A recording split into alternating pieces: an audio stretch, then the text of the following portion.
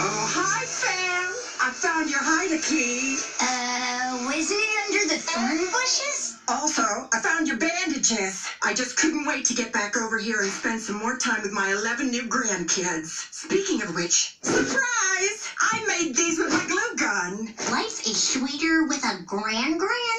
Was your room well ventilated when you worked with this glue? I was thinking that maybe you kids could call me Gran Gran. Why don't you try them on? Oh, you look so cute. Now come on. I have even more surprises. What have you done with my cobwebs? Oh, sweetie. I tore them all down because they had spiders in them. Yes, Elijah, Amaria, and little Jojo. May they rest in peace. Uh, where are my jerseys? They should be in a big messy pile right here. I took them to the dry cleaners. They got every last stain out. Oh, so everything that made them lucky. Well, who needs luck when you have talent like yours? In conclusion, I have identified the necessary isotope for the. Oh, you're talking to your little science friends? Hi, I'm Lisa's Gran. Yes, we're in the middle of something important right now. Perhaps you could excuse us? Oh, you know what? You just do your thing like I'm not even here, and I'll just be tidying up. I prefer you don't. Ooh, these beakers are full of gum. No, wait! I usually have a barber do this. Well, why pay a stranger when you've got a Gran Gran? There. Oh, you look so handsome. That haircut really bowls me over. Sunshine.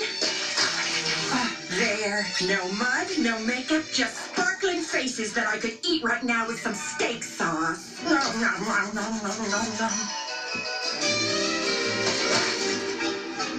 um, what happened to our episodes of Nail Polish Wars? Oh, I deleted those. Yeah, see, the language is just so negative.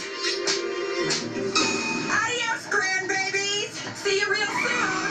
That woman is a nightmare. No way! I'm calling her Grand Gran. It gets worse. Look, she left her day planner. She's coming to all my games for the rest of the season. My conference in Sweden. How did she get clearance? She's coming on my next date with Bobby?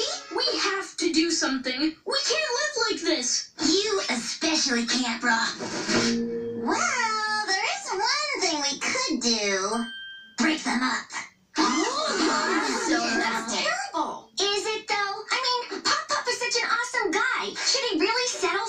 Like Myrtle? He has a point. Well, even if we wanted to do that, how would we? I might have an idea.